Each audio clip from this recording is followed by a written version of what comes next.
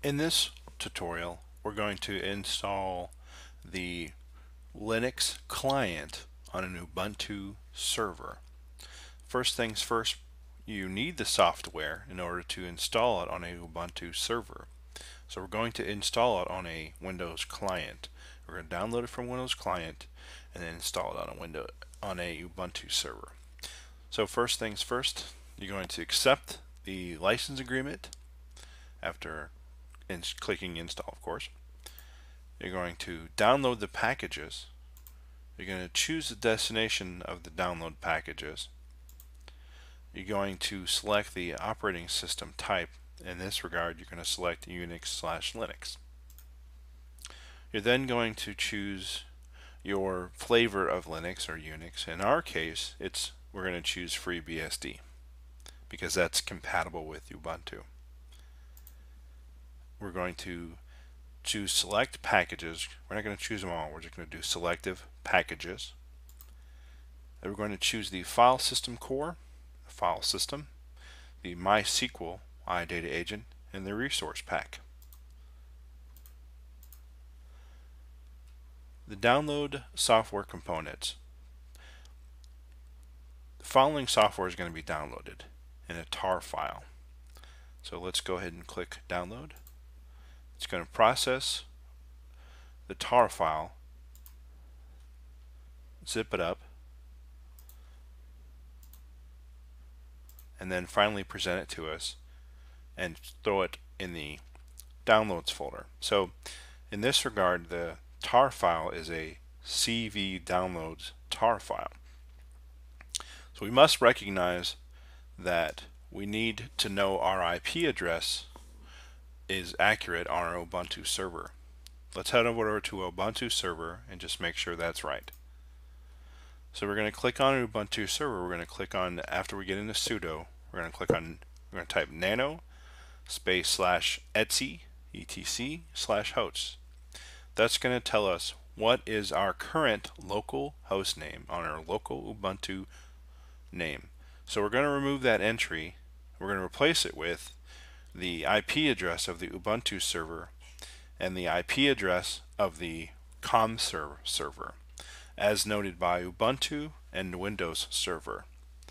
And save that then we're going to need to download the version of WinZip excuse me WinSCP as I were. Then you download that on your Windows computer and that enables us to actually send the files over to the Ubuntu client. We're going to um, type in the IP address, the username and the password of the Ubuntu server, and then we're left with a from and to the C downloads package location and we're going to install that file, that tar file, in the temp folder of our Ubuntu server. We're then going to ls, meaning list the CV downloads tar file. We're then going to run a tar-xvf space CV downloads.tar to extract the files. We're going to then list ls, the files, and we're going to change directory to the CV downloads folder then we're in the temp folder now. CV downloads. We're going to list the files inside the CV downloads and we're going to run the dot slash CV package add file. When you do that it's going to install the Unix installer. And we're going to click on enter to start. We're going to accept the terms of license agreement, click uh, type yes. This is going to select the Unix uh, setup tasks. We're going to inst one install data protection agents on this computer. We're then going to type in the physical client name of the machine uh, client physical machine host name meaning it's Ubuntu is the, the host name rather. We're going to then define what software do you want to download. We're going to download, we're going to install the file system core and the file system on this Ubuntu. And also the resource pack. So you just put an X in that section. Do you want to configure the iData agent for laptop or desktop backups? We're going to select no in this regard. Do you want to install the agents for restore only? We're going to click no because we don't want to do that. Then it's going to tell us where we want to install the software. We're going to put this in the opt directory. And where do we want our log files to go? Usually the all the log files usually are on var slash log. We're going to leave that default. The Unix group, if we want to put our client in a specific group, we're not going to do that. We're going to push click no. And then this is the setup permissions for group or the users. We're going to leave everything uh, default or all, checked all. And it's going to copy the applied updates, the binaries. The instance, meaning the port numbers, by default, Commvault has 8400, uses 8400, 8401, and 8402.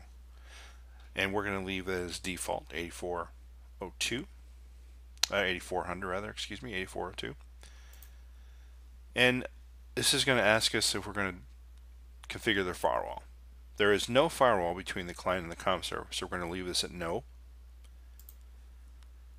Finally, we need to let the client know what the CommServe ID or the CommServe hostname is. So we're going to define the CommServe hostname and it's Windows Server, it, whatever it is in your case, but in my case it's Windows Server.domainname.com. We're then going to do where you click on the CA Certificate Authority Authentication. We're going to click No on this. Finally, it's going to be installing the com uh, the information. It's going to contact the, the com server. It's going to read the files, the data center com server install manager, and it's just going to do its basic checks to see if it can talk to the CommServe. We're then going to select the use cell level po policy and then also a client group. In this regard, I know I said earlier we weren't going to set it in a group, but unfortunately we are we are actually going to put it in a group client group, the Unix Linux client group, which I've already pre pre set up before. It's going to apply its updates it's going to install its packages. And you're left with your thank you for choosing Commvault. And it's going to review, it's going to tell you what it's installed. And in order to check that, you log into your CommServe and you would see under client groups, you would see your Ubuntu client or Ubuntu server listed there. Thank you for watching this tutorial.